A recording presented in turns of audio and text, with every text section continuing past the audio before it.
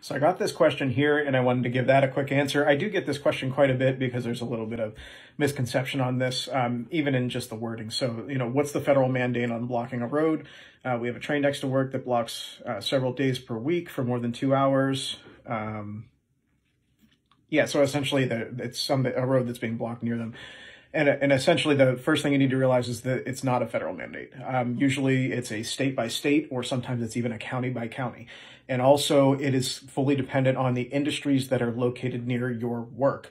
Um, so, if trains are dropping off cargo or picking up um, trains in that process. So if they're taking tankers out, if they're taking boxcars out, if they're replacing those things, and there just happens to be a road close to where they're doing that work, a lot of times they'll have to leave their train on the main track, go in and do the work, and then come back out and get it. And sometimes that takes an hour or two. Um, so that's that's just something that happens. Outside of that, if it's if there's no uh, industries in your area and they're not servicing anybody, the rule for this is that there has to be 300 feet between where the train ends and the railroad crossing begins. So normally, if they're knowing that they're going to have to slow down up ahead, they'll stop 300 feet before the crossing and put the brakes on and just hang out until they get the all clear to keep moving forward.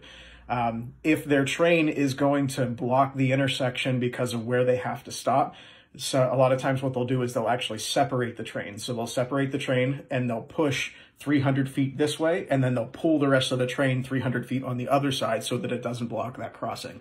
That's typically the way that it would work.